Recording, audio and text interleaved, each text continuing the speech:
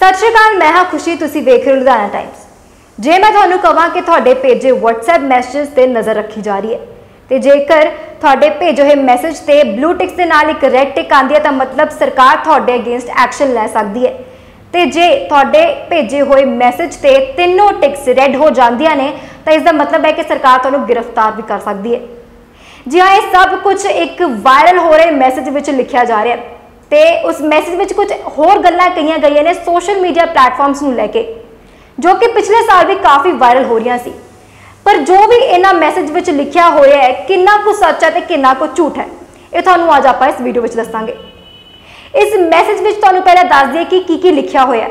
ਇਸ ਮੈਸੇਜ ਵਿੱਚ ਲਿਖਿਆ ਗਿਆ ਹੈ ਕਿ WhatsApp ਇੱਕ ਨਵਾਂ ਕਮਿਊਨੀਕੇਸ਼ਨ ਰੂਲ ਲੈ ਕੇ ਆਇਆ ਹੈ, ਜਿਸ ਦੇ ਤਹਿਤ ਤੁਹਾਨੂੰ ਪਤਾ ਲੱਗ ਜਾਵੇਗਾ ਕਿ ਕਿਹੜਾ ਤੁਹਾਡਾ ਮੈਸੇਜ ਹੈ, ਉਹ ਸਰਕਾਰ ਵੱਲ ਜਾ ਰਿਹਾ ਹੈ ਕਿਹੜੇ ਮੈਸੇਜ ਤੁਹਾਡਾ ਐਕਸ਼ਨ ਲਿਆ ਜਾ ਸਕਦਾ ਹੈ, ਕਿਹੜਾ ਮੈਸੇਜ ਗਲਤ ਹੈ ਤੇ ਕਿਹੜੇ ਮੈਸੇਜ ਤੇ ਤੁਹਾਨੂੰ ਗ੍ਰਿਫਤਾਰ ਕੀਤਾ ਜਾ ਸਕਦਾ ਹੈ।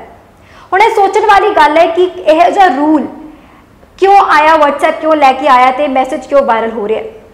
ਕਿਉਂਕਿ ਇਸ ਮੈਸੇਜ ਵਿੱਚ ਜੋ ਆਪਾਂ ਦੇਖ ਰਹੇ ਹਾਂ ਅੱਜ ਦਾ ਜਿਹੜਾ ਮੁੱਦਾ ਚੱਲ ਰਿਹਾ ਹੈ, ਕਾਫੀ ਚਰਚੇ 'ਚ ਹੈ। ਸਰਕਾਰ ਵੱਲੋਂ ਪਾਸ ਕੀਤੇ ਗਏ ਜਿਹੜੇ ਆਈਟੀ ਰੂਲਸ ਨਵੇਂ ਆਈਟੀ ਰੂਲਸ ਆਏ ਨੇ, ਕੇਂਦਰ ਸਰਕਾਰ ਵੱਲੋਂ ਸੋਸ਼ਲ ਮੀਡੀਆ ਪਲੇਟਫਾਰਮਸ ਨੂੰ ਫੋਲੋ ਕਰਨ ਲਈ ਕਹੇ ਗਏ ਨੇ। ਤੇ ਜੇਕਰ ਉਹ ਫੋਲੋ ਨਹੀਂ ਕਰਦੇ, ਜਿਹੜਾ ਅਲਟੀਮੇਟਮ ਦਿੱਤਾ ਗਿਆ ਸੀ 25 ਮਈ ਤੱਕ ਦਾ, ਜੇਕਰ ਉਹ ਫੋਲੋ ਨਹੀਂ ਕਰਦੇ, ਉਸ ਤੋਂ ਬਾਅਦ ਇਹਨਾਂ ਸੋਸ਼ਲ ਮੀਡੀਆ ਪਲੇਟਫਾਰਮਸ ਨੂੰ ਬੈਨ ਕਰ ਦਿੱਤਾ ਜਾਵੇਗਾ। ਇਹ ਵੀ ਗੱਲ ਸਾਹਮਣੇ ਆਈ ਸੀ।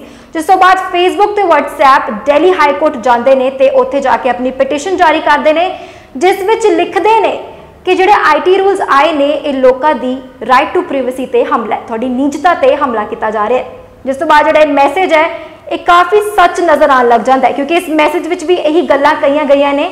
ਹਾਲਾਂਕਿ ਕੁਝ ਅਲੱਗ ਢੰਗ ਨਾਲ ਕਹੀਆਂ ਗਈਆਂ ਨੇ, ਪਰ ਕਿਤੇ ਨਾ ਕਿਤੇ ਇਨਡਾਇਰੈਕਟਲੀ ਇਹੀ ਦੱਸਿਆ ਜਾ ਰਿਹਾ ਹੈ ਕਿ ਕਿਤੇ ਨਾ ਕਿਤੇ ਸਰਕਾਰ ਤੁਹਾਡੇ ਮੈਸੇਜ ਤੇ ਕੰਟਰੋਲ ਕਰਨ ਦੀ ਕੋਸ਼ਿਸ਼ ਕਰ ਰਹੀ ਹੈ, ਤੁਹਾਡੇ ਮੈਸੇਜ ਤੇ ਨਜ਼ਰ ਰੱਖਣ ਦੀ ਕੋਸ਼ਿਸ਼ ਕਰ ਰਹੀ ਹੈ ਤੇ ਹੋ ਸਕਦਾ ਇਸ ਮੈਸੇਜ ਵਿੱਚ ਇਹ ਵੀ ਲਿਖਿਆ ਗਿਆ ਸੀ ਕਿ ਤੁਹਾਡੇ ਕਾਲ ਰਿਕਾਰਡਿੰਗਸ ਤੁਹਾਡੀ ਇਮੇजेस ਵੀਡੀਓਜ਼ ਇਹ ਵੀ ਕਿਹਾ ਗਿਆ ਸੀ ਕਿ ਜੇਕਰ ਤੁਸੀਂ ਕੁਝ ਵੀ ਪੋਸਟ ਕਰਦੇ ਹੋ ਤੇ ਜੇਕਰ ਉਹ ਸਰਕਾਰ ਦੇ ਖਿਲਾਫ ਹੁੰਦਾ ਹੈ ਤੇ ਨਾਲ ਹੀ ਕਿਸੇ ਧਰਮ ਨੂੰ ਲੈ ਕੇ ਹੁੰਦਾ ਹੈ, ਤਾਂ ਤੁਹਾਡੇ ਅਗੇਂਸਟ ਐਕਸ਼ਨ ਲਿਆ ਜਾ ਸਕਦਾ ਹੈ। ਇਸ ਮੈਸੇਜ ਬਾਰੇ ਤੁਹਾਨੂੰ ਹੋਰ ਦੱਸ ਦਿੰਨੇ ਇਸ ਮੈਸੇਜ ਵਿੱਚ ਇਹ ਵੀ ਲਿਖਿਆ ਗਿਆ ਹੈ ਕਿ ਫੇਸਬੁੱਕ ਇੱਕ ਨਵਾਂ ਸਿਸਟਮ ਲੈ ਕੇ ਆ ਰਿਹਾ ਜਿਸ ਤੇ ਤੁਹਾਨੂੰ ਪਤਾ ਲੱਗ ਜਾਏਗਾ ਕਿ ਕਿਹੜਾ ਤੁਹਾਡਾ ਮੈਸੇਜ ਸਰਕਾਰ ਵੱਲ ਜਾ ਰਿਹਾ ਹੈ, ਕਿਹੜੇ ਮੈਸੇਜ ਤੇ ਸਰਕਾਰ ਨੂੰ ਆਪੱਤੀ ਹੈ, ਕਿਹੜੇ ਕਿਹੜੇ ਮੈਸੇਜ ਤੇ ਤੁਹਾਡੇ ਸਰਕਾਰ ਐਕਸ਼ਨ ਲੈ ਸਕਦੀ ਹੈ।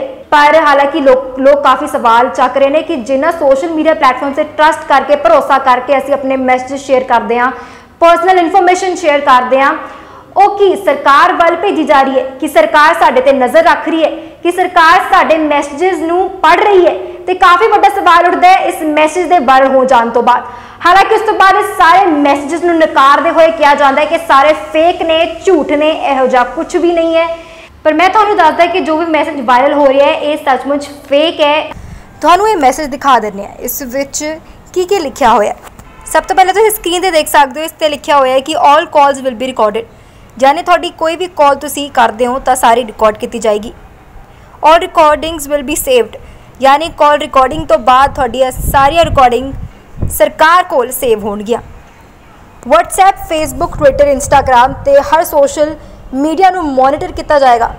ਯਾਨੀ ਨਜ਼ਰ ਰੱਖੀ ਜਾਏਗੀ। ਤੁਹਾਡੇ ਹਰ ਡਿਵਾਈਸ ਨੂੰ ਮਿਨਿਸਟਰੀ ਸਿਸਟਮ ਨਾਲ ਕਨੈਕਟ ਕੀਤਾ ਜਾਵੇਗਾ। ਇਹ ਵੀ ਕਿਹਾ ਗਿਆ ਕਿ ਤੁਸੀਂ ਕੋਈ ਵੀ ਗਲਤ ਮੈਸੇਜ ਨਾ ਭੇਜੋ।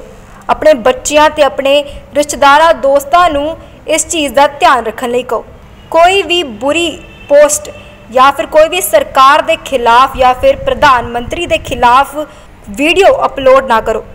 ਤੇ ਅਗਲੀ ਚੀਜ਼ ਇਹ ਵੀ ਕਹੀ ਗਈ ਹੈ ਕਿ ਜੇਕਰ ਤੁਸੀਂ ਕੋਈ ਬੁਰਾ ਮੈਸੇਜ ਧਰਮ ਨੂੰ ਲੈ ਕੇ, ਸਿਆਸਤ ਨੂੰ ਲੈ ਕੇ ਭੇਜਦੇ ਹੋ, ਤਾਂ ਤੁਹਾਡੇ ਤੇ ਵੱਡੀ ਕਾਰਵਾਈ ਕੀਤੀ ਜਾ ਸਕਦੀ ਹੈ ਤੇ ਨਾਲ ਹੀ ਗ੍ਰਿਫਤਾਰ ਵੀ ਕੀਤਾ ਜਾ ਸਕਦਾ ਹੈ। ਬਿਨਾਂ ਕਿਸੇ ਵਾਰੰਟ ਦੇ ਤੁਹਾਨੂੰ ਅਰੈਸਟ ਕੀਤਾ ਜਾ ਸਕਦਾ ਹੈ। The police will issue a notification, then be prosecuted by cyber crime. ਇਹ ਵੀ ਵੱਡੀ ਗੱਲ ਕਹੀ ਗਈ ਹੈ ਇਸ ਮੈਸੇਜ ਵਿੱਚ ਕਿ ਤੁਹਾਡੇ ਖਿਲਾਫ ਸਾਈਬਰ ਕ੍ਰਾਈਮ ਕਾਰਵਾਈ ਕਰ ਸਕਦੀ ਹੈ। ਕਿਹਾ ਜਾ ਰਿਹਾ ਗਰੁੱਪ ਮੈਂਬਰਸ ਨੂੰ ਵੀ ਇਤਲਾਹ ਕੀਤਾ ਜਾ ਰਿਹਾ ਕਿ ਤੁਸੀਂ ਇਸ ਚੀਜ਼ ਦਾ ਧਿਆਨ ਰੱਖੋ ਕਿ ਕੋਈ ਵੀ ਗਲਤ ਮੈਸੇਜ ਅੱਗੇ ਫਾਰਵਰਡ ਨਾ ਕੀਤਾ ਜਾਵੇ। ਤਾਂ ਤੁਸੀਂ ਇਸ ਮੈਸੇਜ ਨੂੰ ਦੇਖ ਸਕਦੇ ਹੋ, ਤੁਹਾਡੇ ਸਕਰੀਨ ਤੇ ਤੁਹਾਨੂੰ ਦਿਖ ਰਿਹਾ ਹੈ ਕਿ ਇਹ ਮੈਸੇਜ ਹੈ ਜੋ ਕਿ ਕਾਫੀ ਵਾਇਰਲ ਹੋ ਰਿਹਾ ਹੈ WhatsApp ਤੇ ਤੇ ਗਰੁੱਪਸ ਵਿੱਚ। ਪਰ ਤੁਹਾਨੂੰ ਇਸ ਦਾ ਸੱਚ ਦੱਸਦੇ ਹਾਂ। ਇਹੋ ਜੀ ਕੋਈ ਕੋਈ ਗੱਲ ਨਹੀਂ ਹੈ, ਤੁਹਾਡੇ ਜਿਹੜੇ ਵੀ ਮੈਸੇजेस ਤੁਸੀਂ ਭੇਜ ਰਹੇ ਹੋ WhatsApp ਤੇ, ਉਹ ਐਂਡ ਟੂ ਐਂਡ ਇਨਕ੍ਰਿਪਟਡ ਨੇ, ਬਿਲਕੁਲ ਸੇਫ ਨੇ। ਲੁਧਿਆਣਾ ਟਾਈਮਸ ਦੀ ਟੀਮ ਨੇ ਇਸ ਨੂੰ ਚੈੱਕ ਕਰ ਲਿਆ, ਇਹੋ ਜਿਹਾ ਕੁਝ ਨਹੀਂ ਹੈ। ਜੇਕਰ ਤੁਸੀਂ ਇੱਕ ਮੈਸੇਜ ਇੱਕ ਭੇਜਦੇ ਹੋ ਤਾਂ ਜੇਕਰ ਉਸ ਤੇ ਇੱਕ ਟਿਕ ਆਂਦੀ ਹੈ, ਤਾਂ ਮਤਲਬ ਉਹ ਮੈਸੇਜ ਰਿਸੀਵ ਨਹੀਂ ਹੋਇਆ ਜਿਸ ਨੂੰ ਤੁਸੀਂ ਭੇਜਿਆ। ਤੇ ਜੇਕਰ ਦੋ ਟਿਕਸ ਆਂਦੀਆਂ ਨੇ, ਤੇ ਮਤਲਬ ਰਿਸੀਵ ਹੋ ਚੁੱਕਿਆ ਸੀਨ ਨਹੀਂ ਹੋਇਆ, ਤੇ ਬਲੂ ਹੋ ਜਾਣ ਤੇ ਮਤਲਬ ਉਹ ਮੈਸੇਜ ਸੀਨ ਹੋ ਚੁੱਕਾ ਹੈ। ਐਂਡ ਟੂ ਐਂਡ ਇਨਕ੍ਰਿਪਟਡ ਦਾ ਮਤਲਬ ਹੀ ਹੈ ਕਿ ਸਿਰਫ ਤੁਸੀਂ ਮੈਸੇਜ ਭੇਜ ਜੋ ਤੁਸੀਂ ਭੇਜਿਆ ਉਸ ਨੂੰ ਪੜ ਸਕਦੇ ਹੋ, ਜੇ ਜਿਹਨੂੰ ਭੇਜਿਆ ਤੇ ਸਿਰਫ ਉਹੀ ਮੈਸੇਜ ਪੜ ਸਕਦਾ ਹੈ। ਤਾਂ ਇਹ ਜੀ, ਕੋਈ ਗੱਲ ਨਹੀਂ ਹੈ, ਤੁਹਾਡੀ ਇਮੇजेस ਤੁਹਾਡੀ ਪਰਸਨਲ ਇਨਫੋਰਮੇਸ਼ਨ ਤੁਹਾਡੀ ਆਇਡੈਂਟੀਟੀ ਬਿਲਕੁਲ ਸੇਫ ਨੇ।